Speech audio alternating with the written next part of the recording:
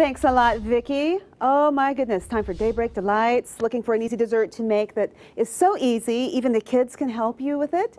Well, why not try a Prosecco peach and garden zucchini bread trifle? Mmm, it looks as good as it sounds. Chef Jackie Henry from the Embassy Suites in Loveland is here to show us exactly how to do this. Welcome. Thank you so much for having me today. Wow, I can tell you right away, all these ingredients smell so good. Thank you. So, mm. Thank you. So how do we get started? Well, I'd like for you to get started shredding some zucchini Oh, here, okay. straight from our garden. I don't know about you back at home, but Okay. our zucchini at Embassy Suites in our garden is growing like crazy. Wow, and look at and look at these guys. They're absolutely beautiful, aren't they? Gorgeous zucchini. Yeah. So we like to come up with fun and exciting ways of, Yeah. of using our zucchini other than just your standard vegetable. Okay, so am I doing okay with this? You're doing great. Keep going. Yeah, You and got a it's long ways to amazing. There's there's a whole bunch in here already. So Okay, next up, We're going to take a little Prosecco and Italian sparkling Wine, and we just want to soak our peaches right in that. Mm. It's a nice summertime dessert. Yes, raspberries. You've got now. Can you change it up if you want to? Can you add something different? You can. That is what's so fun about a trifle is you can just add as many or as much ingredients, Ingredients as, you, want. Okay. So we'll just let that soak for a little All while. right.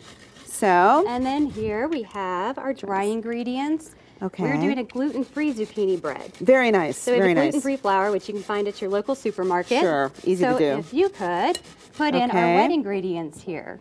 All right. We so have we- eggs, oil, sugar, and All a little vanilla into our gluten-free mix. this is all here, and so we're just going to gently. Do we put all at one time, or do All we just put it at one put? time, just dump it okay. all in so we're just going to put it right in the center. There you are. All right. Listen to it. I put it right in the center as if I am like a chef. You're a pro. I am just going to try and uh, feel my way through this. wow. Okay. So you just kind of mix it, blend it all in, fold Blend it all in. and then we're going to put our fresh garden zucchini in there. Okay. Oh, this is so easy to do. And you're right. The kids could help. Kids would have so much fun doing this. The kids would have a great time, especially making a trifle. They'll love to layer the Sure. ingredients in and see everything right. come together. Let me take that for you. Thank you very much. So we're going to put all this in. All of it in. Okay. Look how nice this looks. Wow. Nice and fresh. Always Very has a great nice. green color to it. Mm-hmm.